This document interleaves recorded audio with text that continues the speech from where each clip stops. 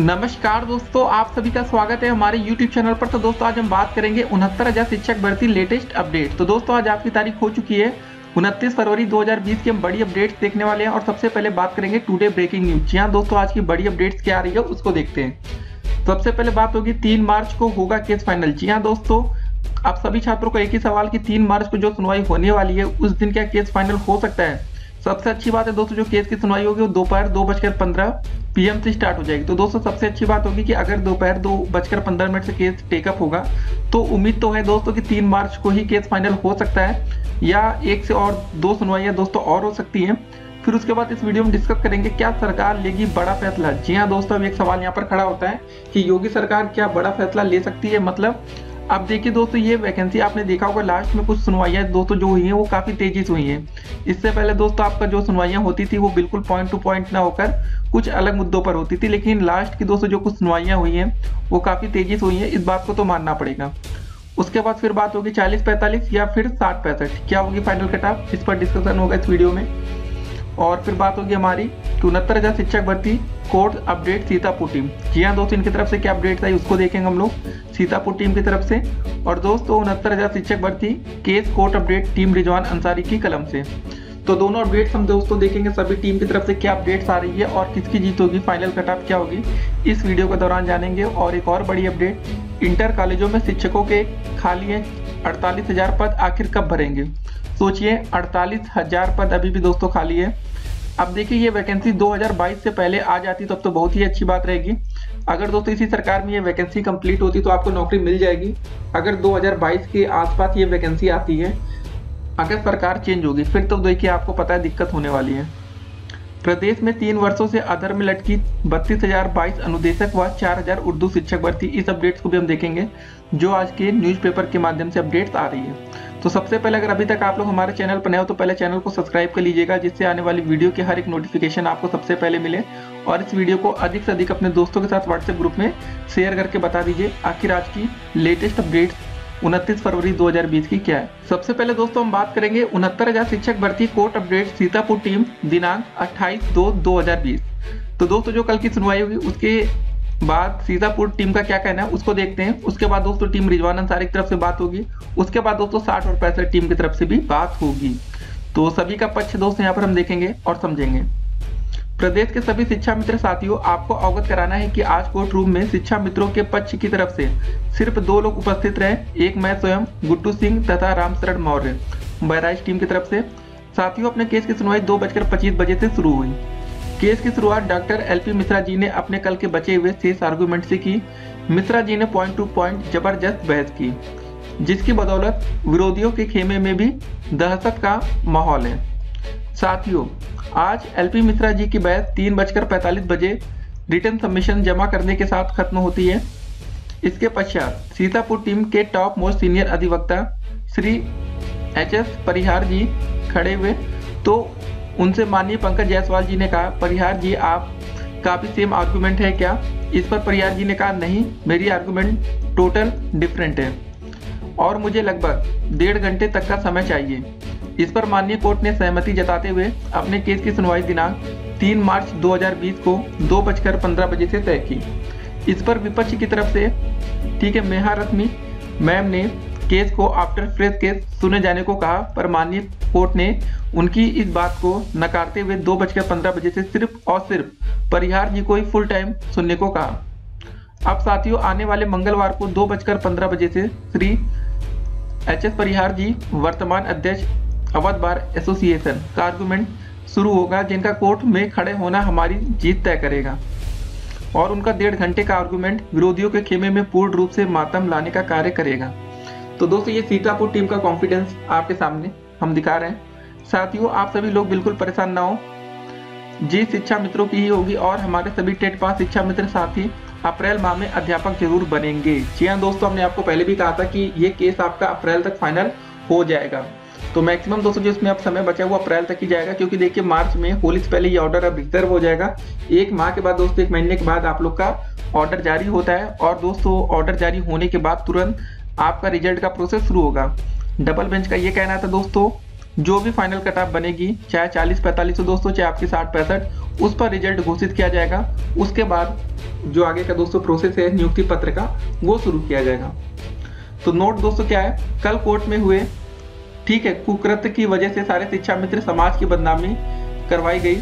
और सबसे अहम बात तो यह है कि इसके पीछे विरोधी नहीं, अपने ही पक्ष के जय चंदो का हाथ था, जो कभी नहीं चाहते कि हमारा या अपना यह केस जीता जाए। केस रिज़र्व होते ही उनके चेहरे से नकाब हटेगा। अभी सभी टीम में मौन है, क्योंकि बाईस हज़ार टेट पास शिक्षा मित्रों की जीत की ज़िम्मेदारी हमारे कंधों पर है। तो दोस्तों, अगर इनके हिसाब से देखा जाए तो जो शिक्षा मित्रों की तादाद है, वो बाईस हज़ार है। जरा एक बार हम लोग कैलकुलेशन करते हैं। उनहत्तर हज़ार में से दोस्तों, अगर हम बाईस हज़ार घटा भी देंगे तो आपके पास जो सीटें बचती हैं, वो सैंतालीस हज़ार सीटें बचेंगी। तो दोस्तों, जो सैंतालीस हज़ार सीटें होती हैं, वो काफ़ी होती हैं। उसमें से अगर 40-45 कटाव की जीत होती भी है तो जो छात्र बीटीसी के हैं, उनको किसी भी प्रकार का नुकसान नहीं होगा। पहले इनको समझना है। हाँ बीएड के दोस्तों कम से कम बाईस हज़ार सीटों का नुकसान हो सकता है। बीटीसी वाले छात्र दोस्तों, इनकी मेरिट काफ़ी अच्छी है तो बीटीसी के छात्रों को नुकसान तो होना लगभग ना के बराबर है। मैक्सिमम दोस्तों बीटीसी पास, ठीक है, जो उन्होंने टेट पास कर रखा है बीटीसी के छात्र हैं, उनकी नौकरी लगनी फिक्स है।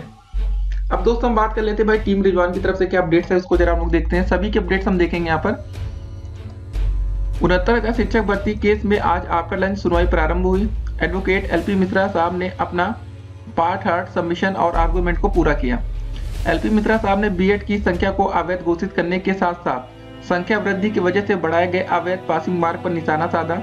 दोनों भर्तियों की समानता के सापेक्ष पासिंग मार्क एवं समान नियमावली संशोधन पर भी तर्क दिया। कोर्ट ने उनकी बहस को बिंदुवार नोट करते हुए कंसिडरेशन की बात पर एग्री किया। इसके साथ साथ पार्ट ऑफ़ रिक्रूटमेंट और differentiate between recruitment and selection पर भी तर्क दिया। इसके अलावा रूल 14 रूल 2x पर भी बिंदु सार मतलब बिंदुवार बहस की। एलपी मिश्रा साहब की बहस, उपेंद्र मिश्रा की बहस और कंपाइलेशन के इर्द गिर्द और पैरेलल ही रही। एलपी मिश्रा साहब की पूरी बहस में विधि चाणक्य, अमित भदौरिया ने महत्वपूर्ण दस्तावेज़ दिए। साथ ही साथ दोनों दिन असिस्ट भी किया। आज डॉक्टर एलपी मिश्रा साहब का सबमिशन और बहस पूरा हुआ। अब अगली सुनवाई मंगलवार तीन मार्च को होगी, जिसमें अब आगे के शेष बचे अधिवक्ता अपनी बहस स्टार्ट करेंगे।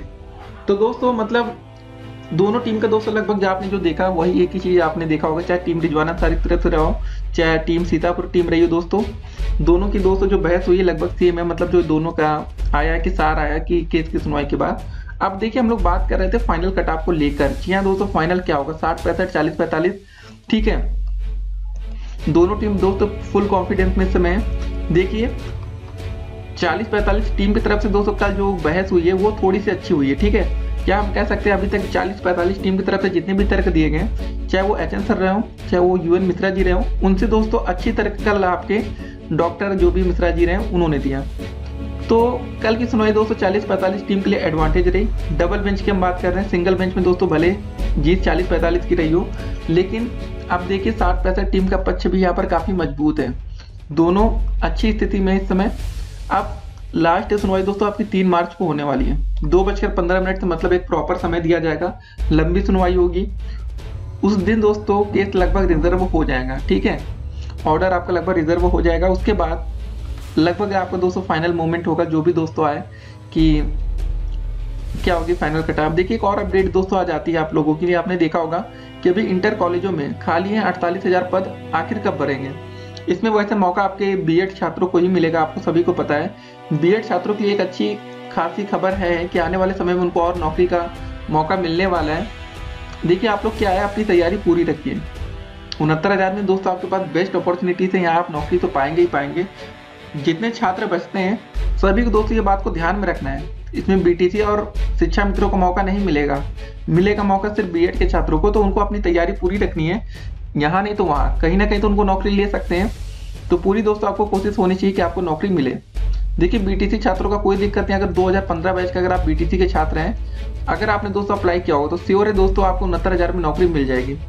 चाहे साठ पैंसठ की जीत हो, चाहे चालीस पैंतालीस की अगर आप बीटीसी से पास करेंगे तो आपको नौकरी मिलना है। क्योंकि आपके जो मेरिट होती है दोस्तों, काफ़ी अच्छी रहती है। एकेडमिक मेरिट आपकी अच्छी रहती है। उसके बाद दोस्तों, अगर आप पासिंग मार्क के क्राइटेरिया में आते हैं तो पा जाएँगे। देखिए, इनकी जो कहना है कि बाईस हज़ार टेट पास इच्छा मित्र हैं खाली, इसके साथ साथ समझ रहे बाईस हज़ार का मतलब। हमने आपको बताया कि सैंतालीस हज़ार दो सौ तब भी बचेंगे। मान लेते कि बाईस के बाईस हज़ार शिक्षा मित्रों की नौकरी लगेगी, तब भी सैंतालीस हज़ार पद खाली रहेंगे। सोचिए, सैंतालीस हज़ार पद पर आसानी से आप लोग नौकरी ले सकते हैं। बचेंगे दोस्तों बी के छात्र। देखिए, यहाँ पर अप्लाई करने वाले छात्रों की तादाद वैसे चार लाख से अधिक है। चार लाख दस हज़ार समथिंग है। तो काफ़ी छात्र ऐसे होंगे जो नौकरी नहीं पा पाएँगे। तीन लाख से अधिक छात्र होंगे वो। लेकिन दोस्तों, यहाँ पर एक फ़ायदा उनको मिलेगा, ये बात समझिए। जो बीटीसी वाले उनके मेरिट एकेडमिक अच्छी है, उनको नौकरी मिल जाएगी, शिक्षा मित्रों को नौकरी मिलेगी। खाली नुकसान यहाँ बी के छात्रों को होगा। अब देखने वाली बात होगी दोस्तों कि फाइनल कटाप पर क्या होता है। और सरकार देखिए, तभी बड़ा फैसला लेगी जब दोस्तों सरकार की जीत होगी। एक बात समझ लीजिए आप लोग, अगर साठ पैंसठ की जीत होती है तो हो सकता है कि आपको अंतरिम राहत देकर नौकरी दे दी जाए। ठीक है, किसी ना किसी प्रोसेस से। सरकार ने खुद ही कहा कि हम योग्यता से समझौता नहीं करेंगे। जब दोस्तों बात यह आती है, अगर 40-45 की जीत होती भी तो मामला आपका सुप्रीम कोर्ट तो जा रहा है, ये बात तो सबको पता है कि मामला सुप्रीम कोर्ट जाएगा। अगर साठ पैंसठ की जीत होती तो हो सकता है कि सरकार इसको अंतरिम राहत पर नौकरी या कैसे ना कैसे दोस्तों जुगाड़ करके आपको नौकरी दे सकती है। सिंगल बेंच का भी दोस्तों फैसला कुछ ऐसा ही था कि दो से तीन महीने में नौकरी देनी थी। छात्रों को, आपने देखा होगा, सरकार तो काफ़ी देर से डबल बेंच गई थी। लेकिन दोस्तों बात तो यही आया था कि आप जल्द से जल्द इस वैकेंसी को पूरा करिए। लेकिन सरकार को लगाओ कि नहीं, ये हमारी हार है। क्योंकि उन्होंने कहा था कि हम योग्यता के साथ समझौता नहीं करेंगे। तो अगर दोस्त यहाँ पर साठ पैंसठ की जीत होती है तो ये तो बात श्योर है कि आप लोग अप्रैल में नौकरी करते हुए दिख सकते हैं। जी हाँ दोस्तों, काफ़ी तेज़ी से प्रोसेस होता है। आप एक बार समझ लीजिए पासिंग मार्क जैसे डिसाइड होगा प्रोसेस बहुत तेज़ी से होगा आगे का। ठीक है ना? तो अभी दोस्तों जो समय लग रहा है तो लग रहा है। एक और दोस्तों अपडेट आई थी, आपने देखा होगा। तो इसका पूरा हम अपडेट अभी आपको कमेंट बॉक्स में लिंक के माध्यम से दे देंगे। उसको आप जाइए चेक करिएगा। सारी अपडेट्स आपको मिलेंगी। अनुदेशक व उर्दू शिक्षक भर्ती तीन साल से अटकी। देखिए, हर एक वैकेंसी दोस्तों यहाँ पर अटकती हुई दिखाई दे रही है। इसका दोस्तों रीजन हम आपको बता दें रीजन क्या रहा? कि देखिए, जैसे 4000 उर्दू शिक्षक की नौकरी थी, परिषदीय प्राथमिक स्कूलों में उर्दू विषय के 4000 सहायक अध्यापकों की भर्ती के लिए भी सपा शासनकाल के अंतिम दौर, दिसंबर 2016 में प्रक्रिया शुरू हुई थी, लेकिन यह भी तेईस मार्च 2017 को रोक दी गई। अगर यहाँ पर सपा की सरकार होती, ठीक है, समझिए इस बात को। सपा की सरकार होती तो ये छात्र नौकरी करते हुए दिखाई दे रहे होते। सरकार जब भी चेंज होती है दोस्तों पुरानी जो भी भर्तियाँ होती हैं, चाहे वो शिक्षक भर्ती हो, किसी भी प्रकार की भर्तियाँ हो, उस पर तुरंत स्टे ले लिया जाता है, रोक लगा दी जाती है। नहीं तो दोस्तों, ये छात्र भी आज नौकरी कर रहे होते हैं। अब देखिए, जैसे आप ये वैकेंसी आप देख रहे हैं, अगर ये अड़तीस हज़ार पद की वैकेंसी आती है, मान लेते हैं दोस्तों 2022 के आसपास आती है वैकेंसी उसके बाद सरकार अगर बीजेपी की बनती है तो तो कोई दिक्कत नहीं है। सरकार चेंज होती है तो हो सकता है वो आती है आपकी वैकेंसी पर स्टे मार देंगे, तुरंत लगा देंगे कि नहीं, इस वैकेंसी को हम अपनी तरह से पूरा करेंगे। तो अब देखते हैं दोस्तों क्या क्या अपडेट्स आती हैं फ़िलहाल। तो वेट करते हैं तीन मार्च का और दोस्तों तीन मार्च को सब कुछ फाइनल हो जाएगा उसी दिन। और पूरी दोस्तों उम्मीद है कि होली से पहले इस केस का ऑर्डर रिज़र्व हो जाएगा। ठीक है, उम्मीद तो दोस्तों यही है और बाकी देखने वाली बात होगी क्या होता है। तीन मार्च को लगभग लगभग दोस्तों केस फाइनल हो जाएगा। फिर मिलते हैं अगली वीडियो में। तब तक के लिए स्टे कनेक्टेड और दोस्तों जाते जाते आप लोग एक ही सवाल रहता है कि सर आपके हिसाब से फाइनल कटाप क्या होगी और क्या होनी चाहिए? देखिए दोस्तों, जो भी कोर्ट का फैसला होगा, वो अंतिम फैसला होगा। कोर्ट तर्कों पर चलती है, वहाँ पर कुछ नहीं होता ऐसा कि ऐसे वैसे दोस्तों कुछ भी फैसला आ जाए। तो फ़िलहाल अभी आपको वेट एंड वॉच करना चाहिए। बस दोस्तों, हम लोग यही चाहते हैं कि जो छात्र मेहनत करें, उनको नौकरी मिलनी चाहिए। जिन्होंने भी मेहनत की हो, ठीक है, उनको नौकरी मिलनी चाहिए। फिर मिलते हैं स्टे कनेक्टेड